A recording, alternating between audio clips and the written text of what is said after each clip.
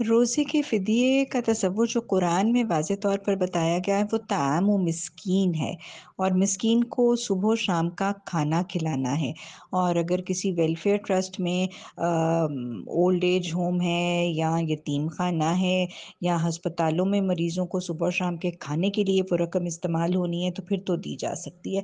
वरना इसके अलावा वेलफेयर ट्रस्ट के बाकी कामों के लिए या हॉस्पिटल की दवाइयों और इलाज वगैरह के मामलात के लिए प्रतिक्रिया नहीं दिया जा सकता।